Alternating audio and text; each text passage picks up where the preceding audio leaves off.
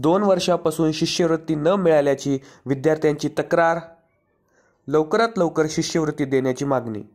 शैक्षणिक वर्ष दोन हजार सतरा दोन हजार अठरामधील बऱ्याच विद्यार्थ्यांची शिष्यवृत्ती ही अजूनही प्रलंबित आहे. शिष्यवृत्ती मिळाली नसल्यामुळे विद्यार्थ्यांची टी सीसाठी अडवणूक होत आहे. याचाच एक भाग म्हणून एका विद्यार्थ्याने नांदेड समाज कल्याणच्या सहाय्यक आयुक्तांना विनंती वजा आठवण अर्ज सादर केला आहे. या विद्यार्थ्याने आपल्या अर्जामध्ये महाराष्ट्र शासन व समाज कल्याण अधिकारी यांना विनंती केली आहे की प्रलंबित असलेल्या विद्यार्थ्यांची शिष्यवृत्ती लवकरात लवकर देण्यात यावी.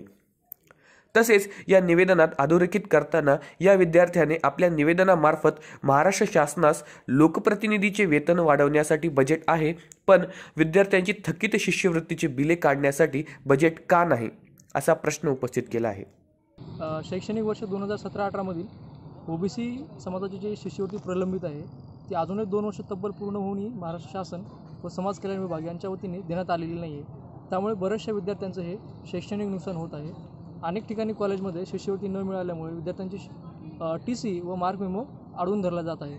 त्याबरोबर एका बाजूला जर बघितलं तर तत्कालीन महाराष्ट्राचे मुख्यमंत्री माननीय देवेंद्र फडणवीस तथा शैक्षणिक मंत्री माननीय विनोद तावडे तथा सामाजिक न्यायमंत्री राजकुमार बडोले यांचे जर आपण कधी स्टेटमेंट पाहिले असतील तर त्या त्यावेळी विद्यार्थ्यांनी ज्या ज्यावेळेस आंदोलनं केलेली आहेत त्या त्यावेळी भारतीय जनता पार्टीच्या या वरिष्ठ नेत्यांनी सांगितलं होतं की विद्यार्थ्याच्या हितासाठी आम्ही सदैव तत्पर आहोत.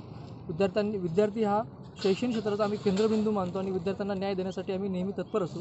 पण दुसऱ्या बाजूला बघितलं तर दोन हजार सतरा अठरामधील जी विद्यार्थ्यांची प्रलंबित शिष्यवृत्ती आज अजूनही मिळालेली नाही आहे जवळजवळ दोन वर्ष होऊन गेलेली आहेत तत्कालीन महाराष्ट्र शासन असेल किंवा आत्ताचं महाराष्ट्र शासन असेल दोन्ही शासनाकडे ओव्हरऑल महाराष्ट्रामधील जे आमदार आहेत तथा वेगवेगळे प्र शासकीय यंत्रणेतील त्यांचे जे पुढारी आहेत यांचं बजेट वाढवण्यामध्ये त्यांच्याकडे पैसा आहे.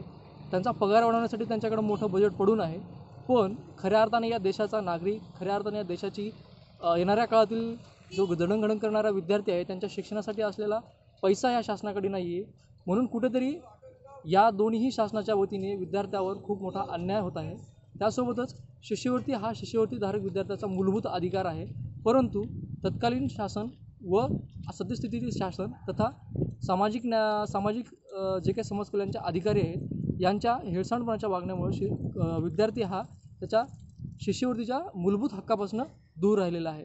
त्यासोबत जर आपण दुसऱ्या बाजूला बघायला गेलं तर आज सतरा अठरा या शैक्षणिक वर्षामधील शिष्यवृत्ती ही त्याच शैक्षणिक वर्षाच्या शेवटपर्यंत मिळणं गरजेचं होतं. पण अजूनही शिष्यवृत्ती मिळालेली नाही ऑलरेडी विद्यार्थी त्या त्यावेळेस D B T portal online त्यानंतर ऑफलाईन या प्रक्रियेमध्ये भरला गेला होता. त्यानंतर आज दोन वर्ष होऊन विद्यार्थ्यांची शिष्यवृत्ती मिळाली गेलेली नाही आहे आता जर, सहज गप्पा मारताना आणि निवेदन देताना आम्हाला असं लक्षात कळालं की जवळजवळ साडेआठ कोटीचा फंड हा बजेट हे शासनाकडे मागणी केलेली आहे. सो अजूनही सामाजिक कल्याण विभागाला मिळालेला नाही म्हणून सामाजिक न्यायमंत्री तथा महाराष्ट्राचे मुख्यमंत्री यांनी या विषयाकडे गंभीरपणे लक्ष देऊन पाहावं आणि शिष्यवृत्त्यांची जी प्रलंबित शिष्यवृत्ती आहे मग ती शैक्षणिक वर्ष दोन हजार सतरा अठरामधील असेल अठरा एकोणीसमधील असेल किंवा चालू वर्षाची शैक्षणिक शिष्यवृत्ती असेल ही लवकरात लवकर विद्यार्थ्यांच्या खात्यावर जमा करण्यात यावी. अन्यथा हा विषय विद्यार्थी म्हणून मोठ्या लेवलला एस्कलेट करून याच्यावर कोर्टामध्ये धाव घेतली जाईल.